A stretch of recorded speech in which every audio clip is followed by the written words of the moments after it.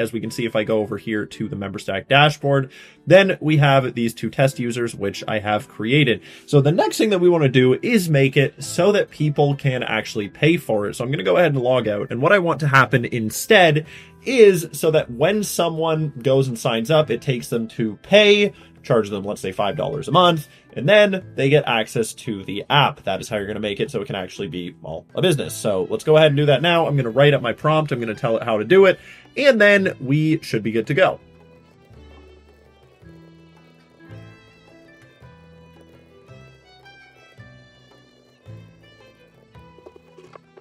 Alright guys, so it has now finished making the plan, and I should now be able to go create an account and then pay for this as well. Should be in Stripe test mode right now, so I don't need to test it with real money, but let's go ahead and enter some stuff in and see if it is going to let me pay. When I do this and click on create account, it is taking me over here to this pricing page, which looks very nice. Again, Opus 4.5 with skills. It's crazy.